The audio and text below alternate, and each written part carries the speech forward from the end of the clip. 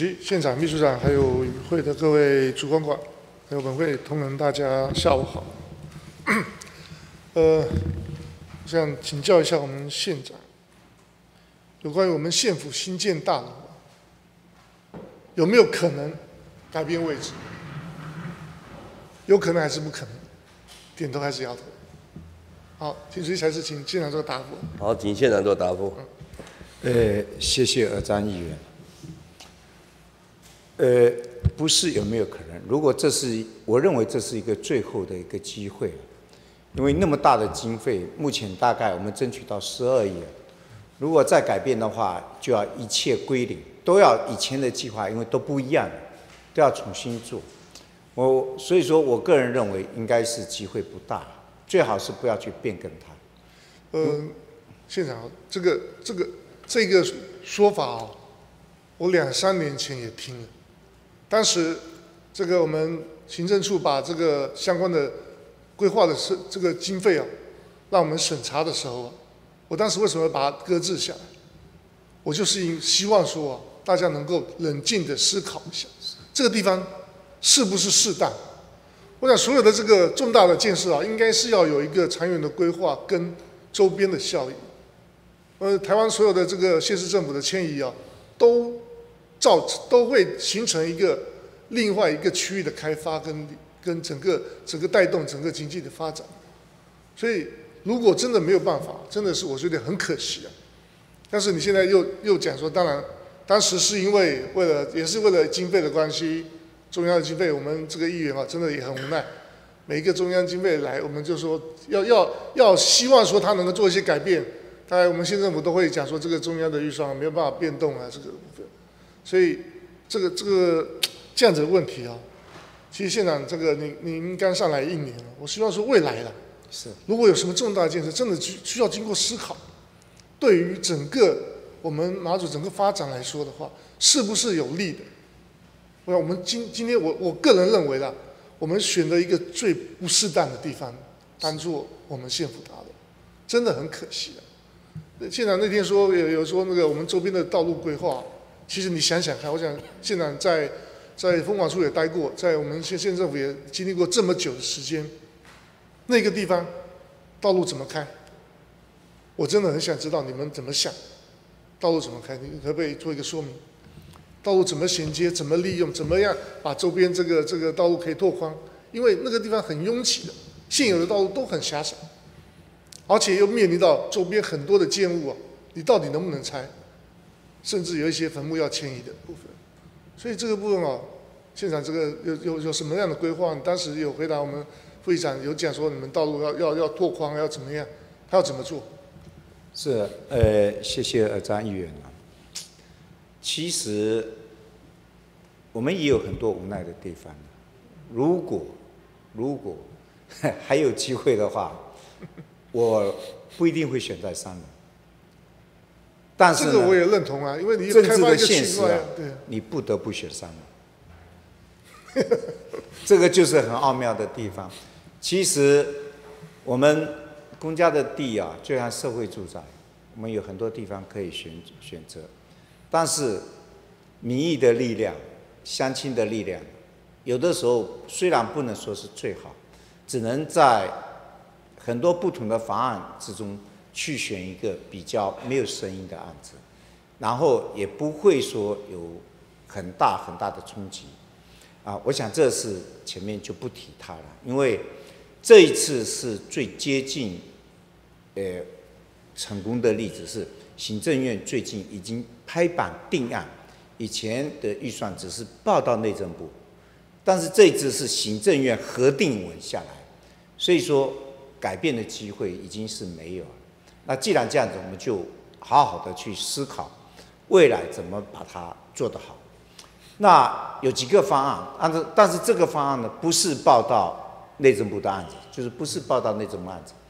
呃，有的建议是说我们地下两层，地上六层，刚好我们那天去看，它会跟南北坑道那边大概快切起。南北坑道那一边呢，有一条路嘛，现在有一条路。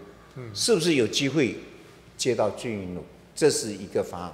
所以说车子我们才会有说为了未来的成本，变地下一层，楼上也做停车空间，这个是有人建议这样子，但是我们规划案不是这样子啊，这都是未来纳入思考。第二个就是说，在我们练武练武场那一边那个道路下来是比较窄，左手边还有一个坟墓嘛，上去有坟墓，那右手边那边是斜坡，有没有机会未来用？住的方式啊，把这个路面拓宽一点，把它向外延伸，这个有讨论到啊，类似这样子的，我们都是去思考，看看他怎么去处理。对啊，县长，其实其实当时本席有有想说，你就就用现有的这个这个县府的现有的建物去拆除重建就好了，往后面盖一点，还可以衔接到后面的这个这个住宅区的一个空间嘛。但是因为当时我们没有接受，就是说。现在回头来看，你刚才讲的部分都是哇，好像都补救的措施的，其实没有办法真正的展现出这个一个县府大楼一个一个位置，它的它需要的一个不管到进场道路啊，或者周边的整个整个延伸的开发，变成说很可惜，我我认为说很可惜是这一点了。所以这这个部分哦，我希望说未来啊，你可能在规划的时候啊，还是要注意一点，因为。现在离那个南北坑道或者离的三线道路，其实你的建物跟那个还有一段距离，你真的要要去把这个衔接起来，还要花很大的经费跟功夫的。我想这个设计上面其实只是说将来会做的很奇怪的一个一个东西出来，这这个对我们这个整个县政县政府好像刚才那地方就没有它的效益存在。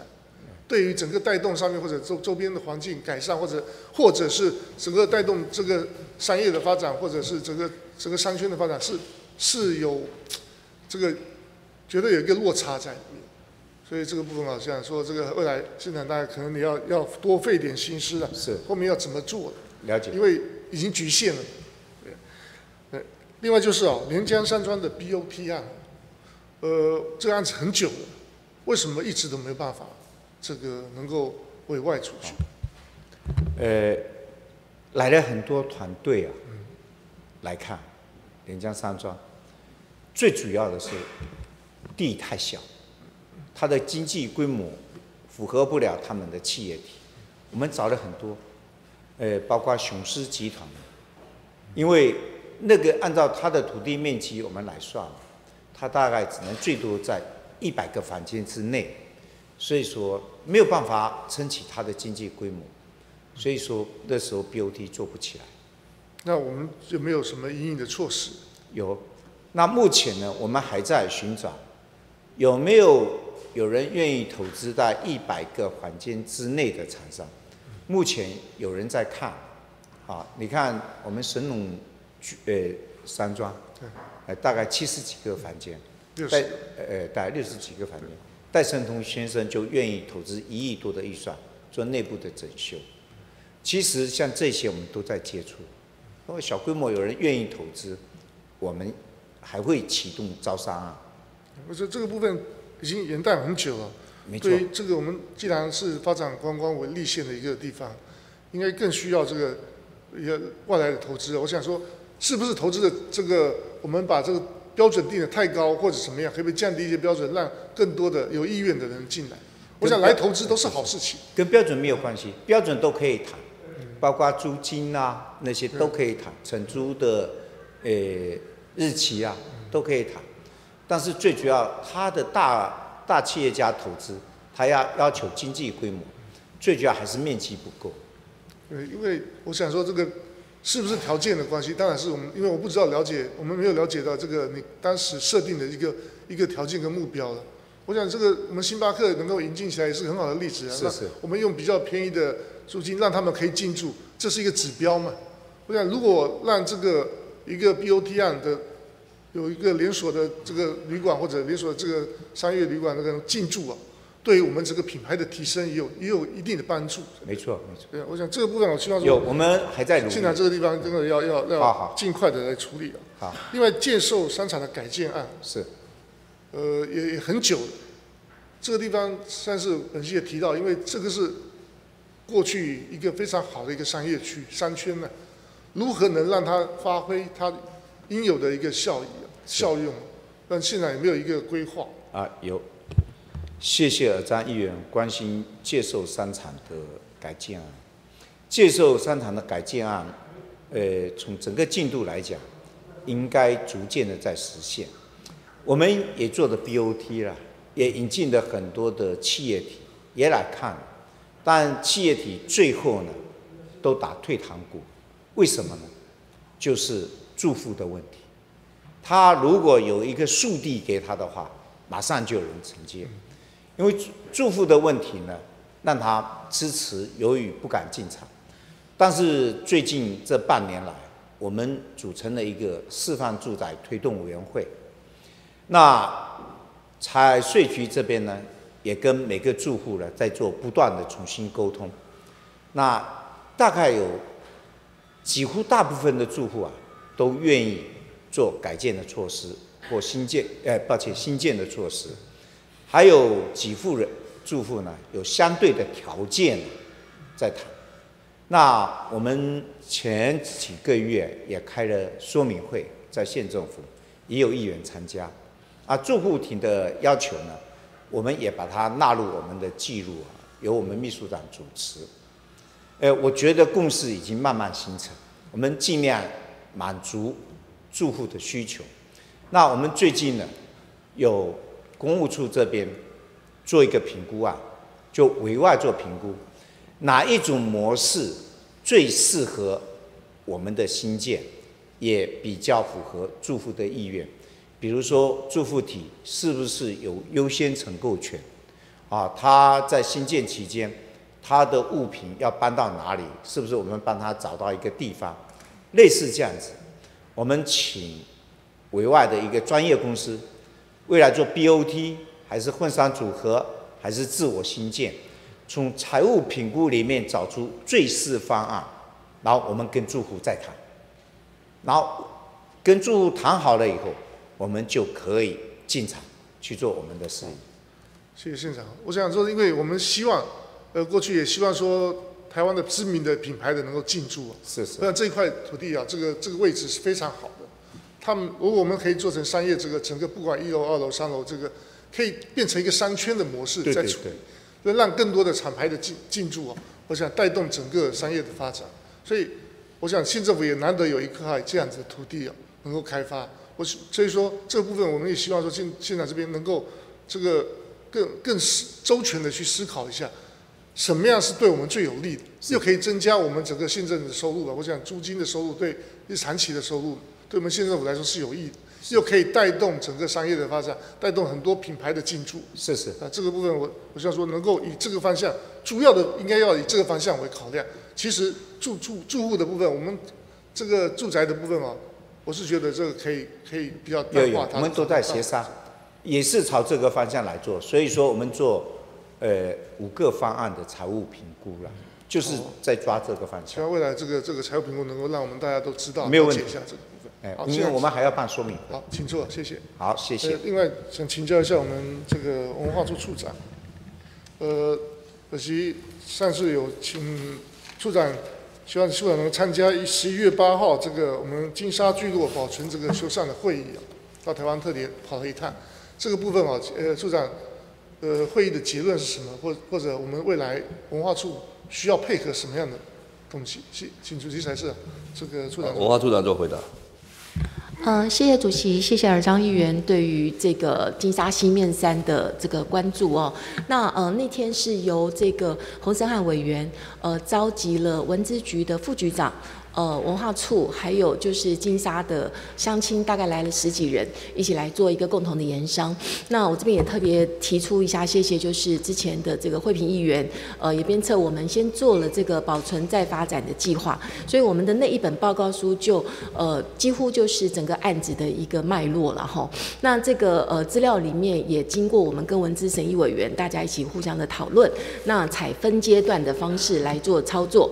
那呃第一阶段原则上。上是五户，也在当场受到这个文资局的副局长这边的允诺，愿意给予专案的协助。所以我们在这几天，我们就会把文送出去，因为那天其实还有一些细节的讨论，必须要做修正。那送出去了之后，文资局表示会在最快的时间之内核定。那么我们也希望接下来呃进到这个规划设计的阶段，我们这边呃地方文化处都愿意给予相关协助，那来帮助呃我们这个一般的民众能够顺利的取得施工许可，也就是呃这个建造许可，然后再开始进行后续的一个修复的工作。目前是几户？呃，我们目前它总共是十四户，那十四户里面，其实我们当时做调研，其实有一些已经是到。只剩下断垣残壁的状态，那我们就优选出其中的五户，呃，看起来可能呃连这个呃就有房屋证明都不会有问题的，我们就先优先的来做操作跟做基本的这个规设。那这个基本的规设呃也获得文资局这边他们的认可，所以接下来我们后续就会呃由文资局做好核定以后来做后续的这个进程。那那我们原始的这个计划这十四户啊，现在有五户在实做，然后后续的这这些部分呢？后续再再，我们会一起提出去，我们会一起提出去。那我们也希望就是文字局这边能够呃给一个核定，然后再分阶段实施。因为他们那天也明白讲，就是你一下子十四户对他们来讲也不太可能啦，所以有这个现实的问题。我想说，我们这个计划先核定嘛，那陆续分年度来来这个处理。对，因为那你现在是十四户哦，呃，本基本是了解啊，可能周边还有一些当时没有纳进去的部分，是是不是我们在这次？在报道这个文文字剧之前，能够把它们加加进去。呃，如果要加上那几户的话，恐怕会。就资料的整理又会更多一点，因为还包含到资料的收集。那那一天的决议，大家是觉得先先不节外生枝，先用这一本来送。那如果说呃相亲他们希望是把那几户并进来，呃时间而有所耽搁的话，我们是愿意配合啦。但是我觉得好像先送会是比较好的主意。我的意思是说，这个我们当然这个十四户是原始的这个对这个计划，我们当然报出去没错。但另外另外的部分说。呃，跟文资局这边能够商议说，哎，因为还有，因为当时因为这个没有纳进去的部分，我们另外另案再再请他们那个能够后续后续如果可以的话，就把这个后续的部分再再补进去。好，那有关于行政对行政技术的部分，我把它留一下伏笔，这样留下伏笔，对啊，我希望说，哎，后续我们把这个后续有扩充的部分，可以可以再增加进去，按照这个分年度来做。OK，它是它必它也是要分年度吧，所以说只是分几年而已。是了解。这个部分我需要说，这个处局长、处长这个地方啊，能够能够尽量的这个大力的帮忙，因为。最主要，大家这个是相亲的心愿嘛。我想大家既然能够回来投资、回来盖房子，我想都是对我们地方来说是好的发正向的发展。是。另外就是啊，呃，梅十八三幺这个委委外案啊，是。到现在目前是什么样？因为好像很久。呃，是我们梅石八三幺的委外案，在今年的这个呃呃。八九九月八月份到九月份，我们就有一个公告。那公告了以后，呃，当时我们有一个说明会，说明会大概就来了三十几个人，吼，非常踊跃。那呃，到我们真的进场来做投标的有三家，那那三家我们也经过了评选。那可是评选的那一天，我们其实有呃在地的委员，也有台湾的专业有过这个呃类似经营这样场域的空间的委员一起共同来审查。那大家认为在资料的准备，特别是在财务报告的状况。上面没有把它做的很说说明的很清楚，所以呃，就为了求好，我们先暂时就先退回去，就是呃，等于说是流标了。那呃，接下来就我们又公告了，我们现在又正在公告了，也欢迎大家有兴趣的可以呃，请我们文化处这边来看现场来做现看，我们都愿意配合。那提出更好的方案，那主要就是希望，因为我们这个案子是五加四啦，就是五年加上四年，希望厂商真的如果绝标，他是真的做下去的，而不是说做了以后成。这个经营不下去的一个状态。我想，因为我们会特别关注，因为政府花了这么多经费啊，当时也提了这个我们整个美食计划一个一个很很重要的一个位置。是。如果能够把它好好的利用啊，我想这个对我们这个观光发展来说是很好的。所以我们议员也非常特别关心这件事情。是，谢谢希望说赶快能够把它这个委外出去啊，让它发挥它应有的应该应该有的一些，不管是。这个住宿啊、景观这个这个这个历史的这个呃展呈现上面啊，能够做得更好。是啊，这个部分。当然希望这个部分可能赶快尽快好，谢谢请。坐，谢谢。好，谢谢。那另外就是我请教一下我们厂发处处长，呃，民众跟我们反映啊，现在大陆的章鱼龙这个部分啊，都到我们澳口来，福澳、复兴这个澳口都已经到岸边了，我们怎么会有这样状况发生呢？我们呃政府过去限制我们张玉龙的这个这个使用，我们渔民大概马祖的渔民大概都不用，结果呢，我们让大陆的渔民来来来来这边部分，这是什么什么样的状况？请主席才是请这个处长做个答复。，请处长做回答。好，诶、谢谢呃张议员关心那个大陆业界布放张鱼龙的议题哈。那这个章鱼笼的部分，就是、诶目前我们连江县是禁用哈。那所以说大概都是大陆那个越界的渔船来放，那这边是还是是违法的行为了。那所以说就是海巡这边要负责来，就是让大陆渔船不要越界了。那另外我们这边就是针对它有越界来布放的部分。我们有一个清除计划。那这个案子确实是也是，诶、执行上也是蛮困难的哈。那经费我们主要都是跟海委会还有渔业署这边来争取。那这几年大概执行下来，诶、其实也大概有，也接近了大概快十万公公斤哈，也是确实是一个蛮大的量。但是，诶、真的应该是海里面应该是还还蛮多的啦，要彻底清除可能还需要很多的经费。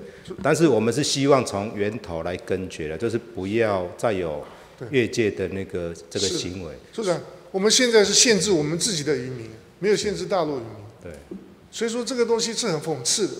哎、既然这个过去啊，这个张义龙的这个释放啊，这个大概都在这个岸边很大概三千公尺、六千公尺以外，现在怎么搞到这个这个这么近的地方？